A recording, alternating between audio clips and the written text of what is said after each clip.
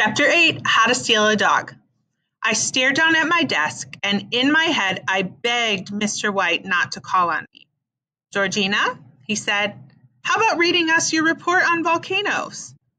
I looked at the paper in my hand. I had made my writing real big so I could fill up a whole page like we were supposed to. Everyone else had used their computers or gone to the library, but not me. All I could do was sit in that nasty house making stuff up. With my face burning, I read my report about how volcanoes are like mountains with a hole in the middle, and then fire comes out and hot lava runs down the side. My whole report lasted about two seconds, and then it was over, and everybody laughed. I was sure I could hear Luann and Liza laughing louder than everyone else. Mr. White said, Shh, and put his hand on my shoulder. Thank you, Georgina, he said, and my heart swelled up with love for him. My report was nothing but great, big, made up words, but he was still being nice to me. He wasn't going to holler at me like he had hollered at Luke Ketchum. I hadn't been doing too good in school lately, but I still looked forward to being there. At least at school, I knew how my day was going to go. I knew we'd say the Pledge of Allegiance, and then we'd raise our hands if we wanted grilled cheese instead of chicken fingers for lunch. Then we'd look up there on the chalkboard, and our whole day would be written out math, and then reading, a spelling test, and then gym. No surprises. Not like after school, when I never knew what was going to happen next.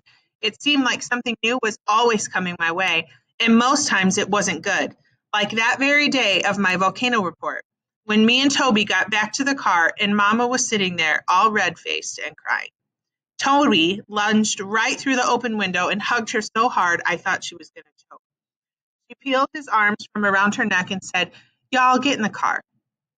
I got in my usual spot in the back, but Toby jumped in the front, pushing all the boxes and bags and things aside. He kept on saying, What's the matter, Mama?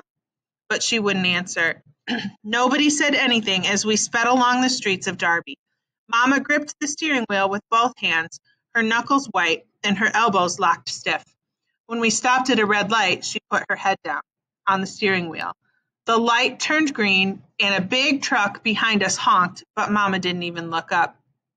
Mama, I said. Nothing. The truck horn honked again and somebody yelled. Mama, I said again. The truck roared around us, and the man driving it hollered and shook his fist at us. I had a feeling something went bad was about to happen. The light's green, I said. Mama lifted her head off, up off the steering wheel and stared at the road. Another horn honked behind us. I got fired at the cleaners, she said. Can you believe that? How come? I said. Mama breathed out a big whoosh. Who knows, she said because I was late once or twice, I reckon, or because I don't use the pressing machine fast enough, or maybe just because I'm alive. Mama's not feeling too good right now, is she? She didn't even turn her head when another car whipped around us, honking like crazy. Maybe you better get out of the road, I said. Maybe I better get out of the whole darn world, she said, and sounded so mean. She swiped at tears and wiped her nose with her hand. Maybe I better just disappear off the face of the earth. Poof! Like that. She snapped her fingers. Wouldn't that be nice? I felt words bubbling up inside me till they came busting out. Yeah, I hollered. That would be nice. I kicked the back of the seat and made Mama's head jerk, but she kept staring straight ahead. Why don't you disappear? And then me and Toby can do what we want. Right, Toby? I poked the back of Toby's head, but he just rocked back and forth, sniffing. Another car horn honked, and Mama sat up straight like she had just woken up. She brushed the hair out of her eyes and started driving again. Nobody said anything as we turned down the dirt and gravel road that led to the house. The car squeaked and bounced and rattled. When we stopped, Mama turned off the engine and the car gave one last little shudder. We gathered our things and made our way through the prickly bushes to the front porch.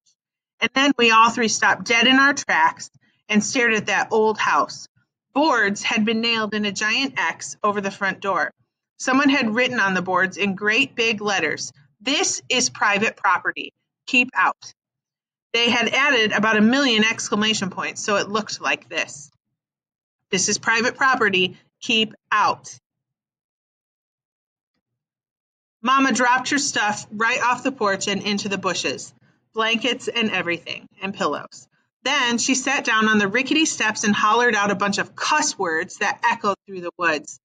Uh, Toby got all blubbery, but I just stood there looking at the boarded up door. I was surprised how bad I felt, seeing as how I hated that house, but I guess it had been better than the car after all. I watched the back of Mama's head and I could almost see her sadness swirling around her. It's a good thing you made us take our stuff out of there every day, I said. She just stared out at the woods. Toby was whimpering and pulling the blankets up out of the bushes. That would have been awful if our stuff was locked up in there, I said. Mama just kept staring out into the woods. I guess Beverly Jenkins was wrong about this house, I said. I guess the owner doesn't want us here after all. Mama turned her head slowly and looked at me, and her face didn't show anything. Not mad, not sad, not anything. Then she stood up and gathered the rest of the blankets and stuff. Come on, y'all, she said. Me and Toby followed her out to the car and climbed in. As we made our way back up to the gravel road toward the highway, I hummed a little bit, trying to clear the heavy air in the car. Georgina, please, Mama said, so I hushed up. I stared out at the world passing by my window and I made up my mind. I was definitely going to steal that dog.